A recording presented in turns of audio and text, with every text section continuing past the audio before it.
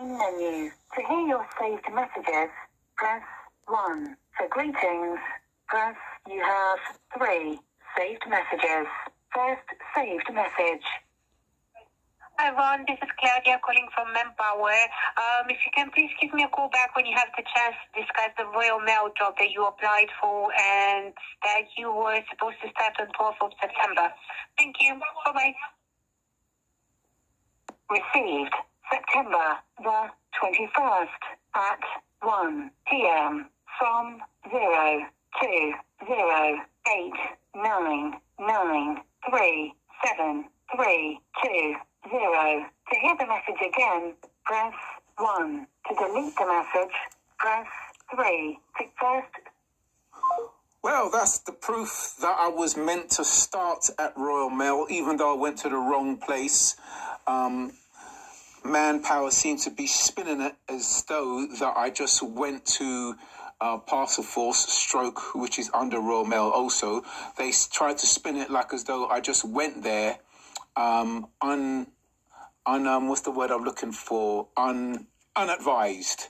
And I told them I was told over the phone I was due to start on the 12th, and I emailed them the the the on the weekend on the Saturday before the Monday.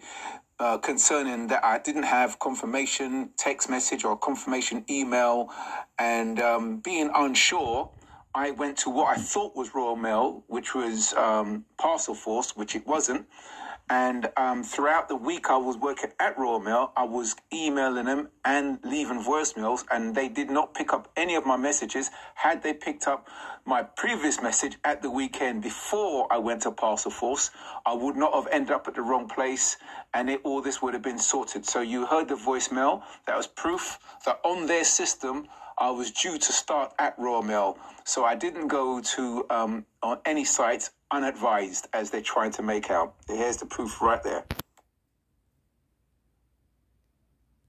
Oh, in addition to the previous clip you've just heard, and I said I was working through the week, throughout the week at Royal Mail. What I, I, that was a slip of the tongue. I was working throughout the week at Parcel Force, which is under Royal Mail, but it was still the wrong site. And somehow my name was still on uh, Parcel Force system. Anyway, as I said, during the week, I was still trying to contact Manpower via email and leaving voice voicemails, and they did not pick up any of my messages. So the reason for this recording right now is just for legal reasons, in case I have to take legal actions, um, because they're trying to wiggle out of not paying me for the week. So this is my uh, legal proof. I have um, screenshotted all my emails. I've saved them on a separate file. So if I have to present them in court, um, I've got them at hand. So this is purely um, this is purely for legal reasons. This upload.